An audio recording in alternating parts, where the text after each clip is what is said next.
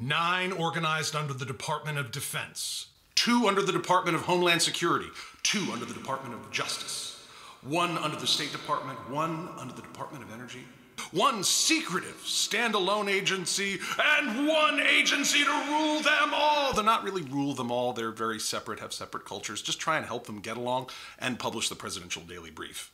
They're America's 18 intelligence agencies. Get to know them, get to love them, maybe float them a nap and go to work for them. Next up on Game Theory today. Guys, it's time for some game theory. Welcome back to Game Theory Today. I am Eric Garland. I am an intelligence professional and I am a super nerd and avid lover of all things intelligence agencies, and I am here to share America's intelligence agencies with you. But first off, before we get going, a huge thank you to all you subscribers.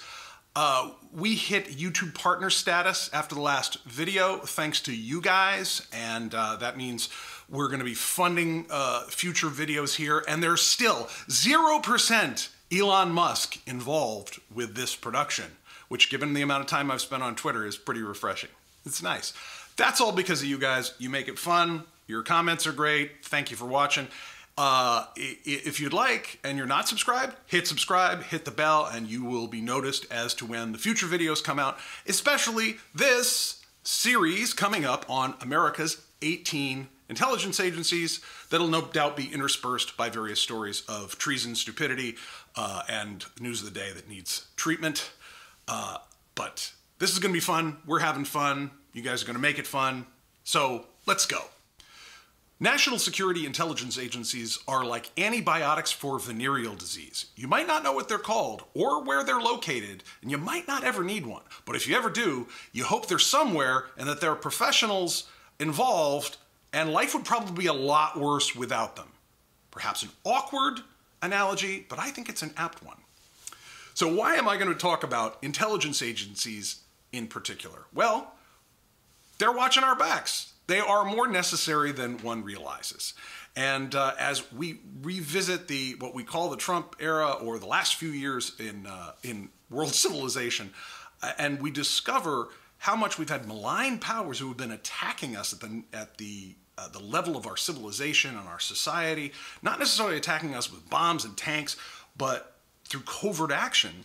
You know, we have to look at the role of other nations' intelligence services, other malign actors, and our own national security agencies that defend against that kind of thing. Well, they need their time in the spotlight so that they can get their uh, their propers and uh, perhaps some more budget and uh, you know do even more for us next time and uh, these, these, are people these are professionals that don't get a lot of time in the spotlight kind of by definition uh, as speaking as somebody who's been in the intelligence world for 25 years it's a profession that can be uh, boring uh, punctuated by dangerous and or traumatic information or experiences it's something that you generally can only talk to other professionals about uh, yet it's also hugely rewarding and very important.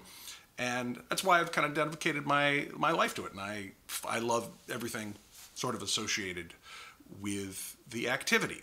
So we're going to be looking at 18 of America's intelligence agencies and their missions, their histories, when they were founded, who's running them right now. And uh, I've got a special section for each agency, which is going to be how they are depicted in movies, television, and pop culture.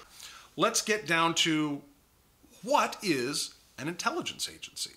Well, it's an institution that operates under the law in the United States uh, to collect information, interpret that information, and use it to create products for a variety of customers in the government. Now, what is a product? Now, spoiler alert, it's probably a Word document that was written by some nerd. Um, it, you know, it's the it's the encapsulation of a story that has been produced from a variety of sources and methods that are secret throughout various intelligence agencies. So that story that goes on to that nerd's document might depend on satellite images, intercepted communications, or what some human source told us. But at the end of the day, it's a story that a decision maker can rely on when it matters most. Now, the customers for this information um, you know, are fairly limited. These are people with very serious decisions to make. The two most uh, famous customers of intelligence you may have heard of the President of the United States and the Joint Chiefs of Staff. Now, every morning, the President of the United States gets a product known as the Presidential Daily Brief, or the PDB. It's a combined effort of 18 different agencies, and it's coordinated uh, at the Office of Director of National Intelligence, and they put it all together, and whatever's most important for the President that day, that goes over to the White House, and it is disseminated to a very, very small number of individuals, and the most serious decisions are made on that basis. Otherwise, those intelligence agencies go to inform for the most part, our military services, represented by the Joint Chiefs. Um, if in case the uh, the military has to do one of its two basic jobs, kill people and break their stuff, we need the best information about that. And that's the intelligence uh, activity for the most part in the United States. There are other customers, uh, several federal customers, and this can go down as far as state and local um, agencies that receive limited intelligence products about national security. Um, I believe governors can be briefed uh, on need to know basis for things that are going on in their territory. And uh, all this is to keep us safe. So, what makes America's intelligence agencies special? Well, first, they're probably the best funded in the world. I say probably because, well, we don't really know how much money they have. I mean, do we? Uh, I mean, let's face it, at the end of the day, some of this stuff is going to be secret. There are certain budgets that are published, and to be sure, they are bigger than Spain's, Andorra's, Malta's, the Seychelles Islands. Uh, America is the richest economy that's ever been, and the largest military power that's ever been, and we have 18 agencies. Uh, how much are they funded? Well, we know what they say on in print. Let's just assume that we're number one. So for that reason alone, that makes America very interesting. Uh, and the second thing, and I think it's the most important thing, is that America actually cares about civil liberties. America, uh, having been the target of decades and decades of KGB disinformation operations, where anything the U.S. does to protect itself is automatically branded as, as somehow nefarious, as like we're not ever allowed to protect ourselves or any of our allies or any of our values in the world, whereas these malign you know, actors can do no wrong, and that was a story that was spread throughout uh, American society. But in reality, American intelligence agencies are like the only ones that give a crap about you know keeping your privacy whatsoever. Let me tell you, from the perspective of even some of our most cherished allies, um, they don't care about that stuff. If you're on their soil and it protects the nation, they're going to do it. If they need to know it about you or anything to do with you, they're going to know it. And America is special because we actually try and keep to the laws that uh, we say govern all these activities, and when they don't, it's a scandal, and we you know have oversight committees added and and this and that. So uh, you know makes America a model for the world still. Intelligence agencies deal in what's known as classified information, well, or classified intelligence. Well, what is classified intelligence? Well, every agency has different sources and methods. These are all kept secret even from each other because we don't want to compromise these things because uh, you know, we might get information through technologies that people don't know about, or we might have specific human sources that are telling us stuff on the sly. We don't want them busted. So all this is kept tight. Even the the the, the results of the information they give us or that the technology gives us, we that needs to be kept under wraps, and that's the system of classified intelligence that emerged after World War One. There are three levels of classified intelligence. There's confidential, secret, and top secret. And it depends on how important the information is. Uh, you probably heard these terms before. Here's what they mean confidential intelligence is information that would cause damage or otherwise be prejudicial to the United States or be to the benefit of some foreign power if it got in the wrong hands. That's pretty general. Cause damage, be prejudicial. Uh, secret intelligence ramps it up to serious damage, and then top secret is exceptionally grave damage to the national security of the United States.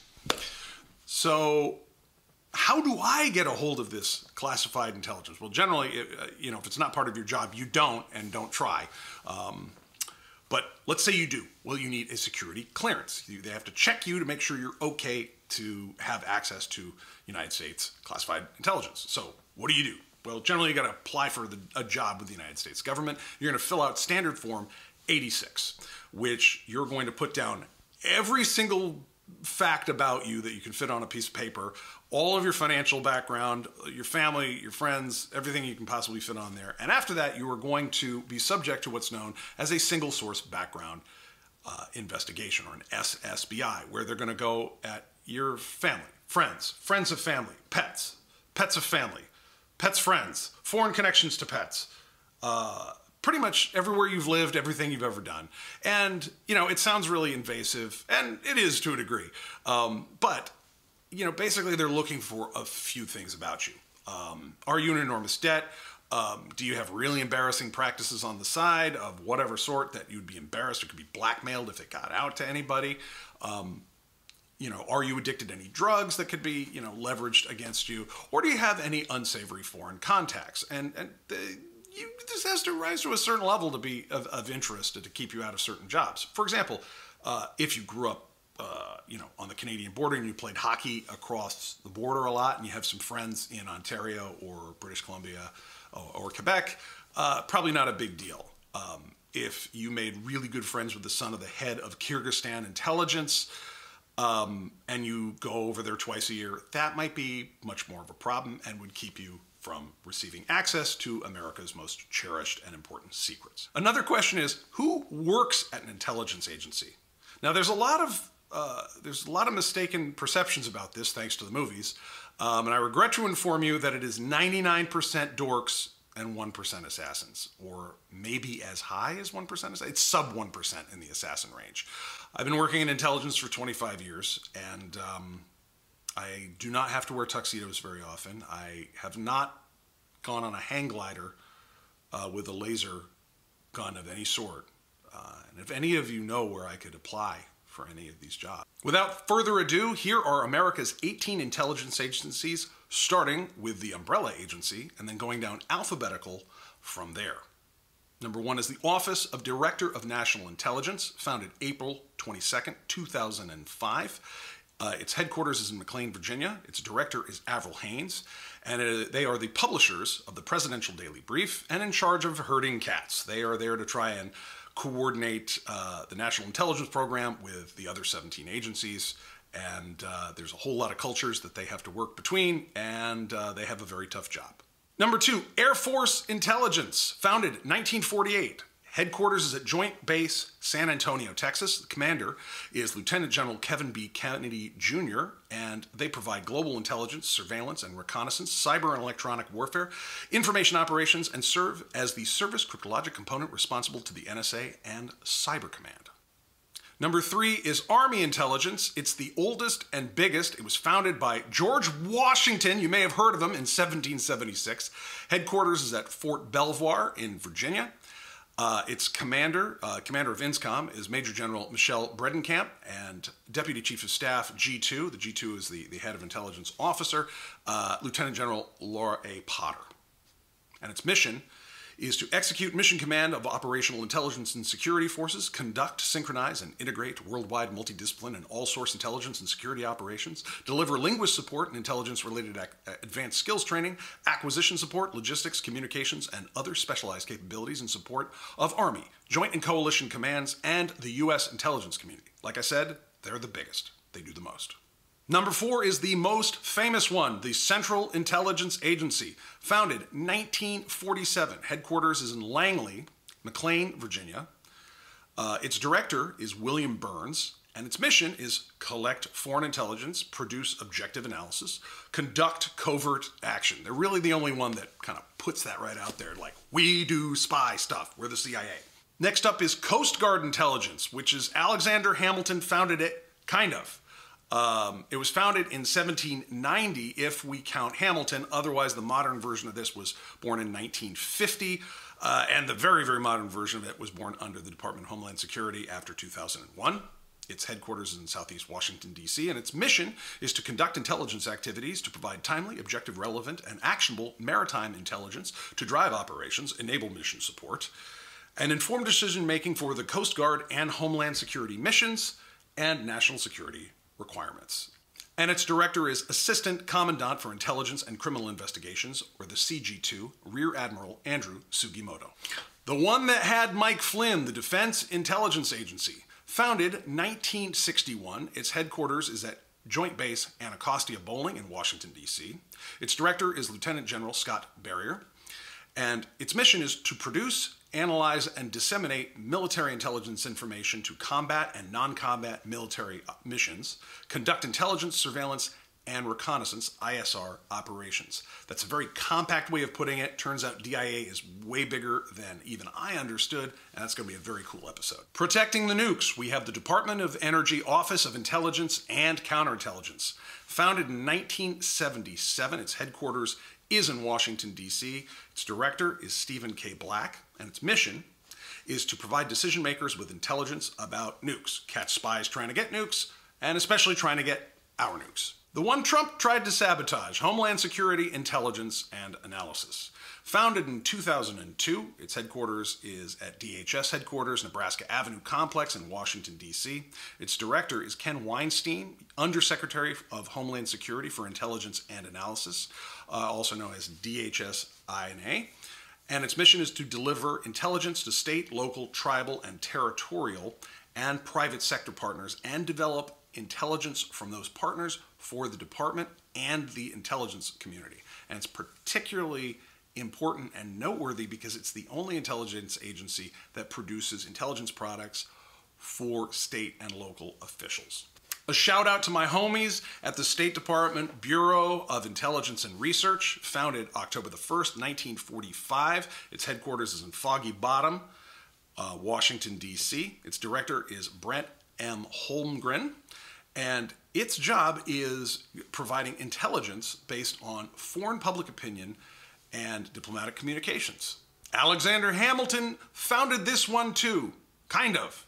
It's the Treasury Office of Terrorism and Financial Intelligence, founded 1961, which granted is after Hamilton got shot. But I'm going to make an argument for this one.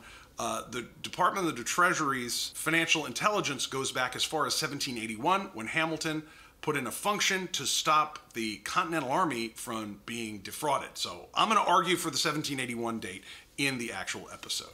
Uh, the headquarters is in southeast Washington, D.C. Note it's not in the Treasury Building, which is, of course, right next to the White House in northwest D.C. Its director is Undersecretary of the Treasury for Terrorism and Financial Intelligence, Brian E. Nelson. Fun fact uh, Treasury intelligence didn't have a director for a couple years there under Trump. When you hear the mission, you might understand why it wasn't much of a priority. Uh, the mission is directing the Treasury's effort to cut the lines of financial support for terrorists, fight financial crime, Jared Kushner, enforce economic sanctions against rogue nations, not very popular with Trump for obvious reasons, and to combat the financial support of proliferation of weapons of mass destruction. The Drug Enforcement Administration's Office of National Security Intelligence, founded 1973, headquarters is in Arlington, Virginia.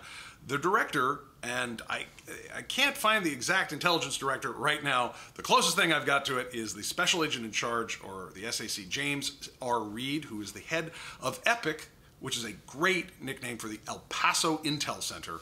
Uh, and they do national security analysis on the role of narcotics. Then there's the other FBI, the Federal Bureau of Investigation National Security Branch. Founded officially in 2005, the FBI has had a spy catching role uh, for decades since the inception of the modern agency under J. Edgar Hoover. Um, its headquarters is at the J. Edgar Hoover Building in Washington, D.C. Its current director is Larissa L. Knapp and it's charged with counterterrorism and countering foreign intelligence operations on U.S. soil. Officially, it is the only intelligence agency that is allowed to operate on U.S. soil. To my knowledge, Department of Homeland Security takes in intelligence from outside of the United States and applies it to the homeland. FBI can actually collect intelligence on the homeland. Marine Corps intelligence Founded in the year 2000, its headquarters is at Hochmuth Hall, Marine Corps Base, Quantico, Virginia. Its director is Major General William H. Seely III, and its mission is to provide intelligence products that will help the Marines kill people faster and more efficiently. And the fun thing about Marines is they won't even take it personally or think that that's a derogatory thing at all, and it's also true. So, hoorah!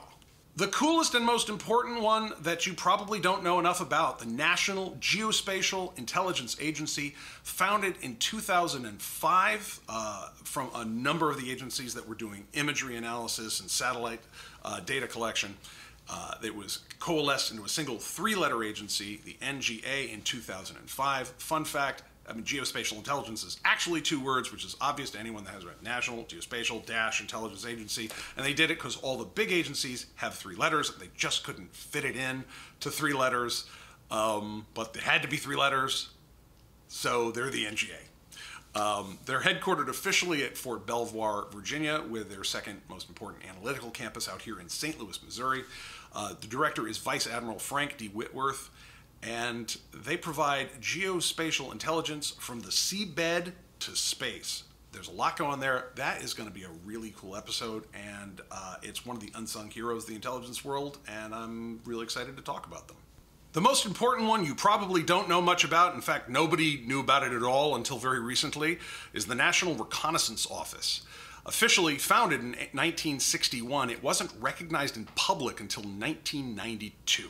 Its headquarters is in Chantilly, Virginia. Its director is Christopher J. Scolese, and its mission is to develop, build, launch, and operate space reconnaissance systems and conduct intelligence related activities for U.S. national security, there's not much more available. In fact, I may have said too much. The which? The huh? The what?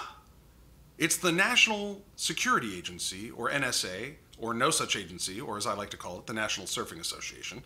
Founded in November 4th, 1952, not really recognized until the 1980s, though. Uh, its headquarters is, the, is that the famous Puzzle Palace, Fort Meade, Maryland. Its director is General Paul M. Nakasone, and they do SIGINT, Signals Intelligence, Collection, and Analysis. If it plugs in and it does anything, NSA can find out about it. The tech nerds at the Office of Naval Intelligence, one of the oldest and coolest. This is the agency that a lot of my work in future trend analysis, technology policy analysis, and all that good stuff, that's where it comes from. My my mentors that I worked for were from ONI originally, founded in 1882 to track the adoption of steam engines and other cool things onto ships. Its headquarters is in Suitland, Maryland. Its director is Rear Admiral uh, Michael Studeman, and its mission is to collect, analyze, and produce maritime intelligence and disseminate the intelligence rapidly to strategic, operational, and tactical decision makers to meet Navy, DoD, and national requirements. That one's going to go on for a while. All of it's fun. All of it's extremely cool. Can't wait for that one. And now the last and coolest and most interesting is Space Delta 18. Man, that's something I would have made up for like goof. Like, come on, like make up the Space Intelligence Agency. Space Delta 18. Founded 2022, bitches. Headquarters is at National Space Intelligence Center, Wright-Patterson Air Force Base in Ohio. And it operates out of, I'm not making this up either, Space Operations Command, which is called the SPOC. And its mission is to outwit, outreach, and win in the space domain. And that kind of goes with the National Geospatial Intelligence, the NRO satellites, and then like protecting those assets, which are incredibly important. That's what Space Delta 18 does. And I know there's a show on Netflix that I'm probably going to pan in the actual episode that kind of makes fun of this like it's no big deal. Well, it's a big deal. 2022, they're launching eh, the 18th intelligence agency. And there we go, man. I'm going to have fun nerding all the way out on each of these agencies, try and give the professionals involved some time in the spotlight as uh, thanks and appreciation for what they do, and uh, maybe as a recruitment. And hey, you know, we need smart people in there working help protect us. So go get a nerdy job. So until then, uh, how about you hit subscribe, hit like, um, and leave a comment. Uh, is any of this surprising information to you? What are you looking forward to most? I'm looking to hear from you as always. I'm Eric Garland. This is Game Theory Today. See you next time.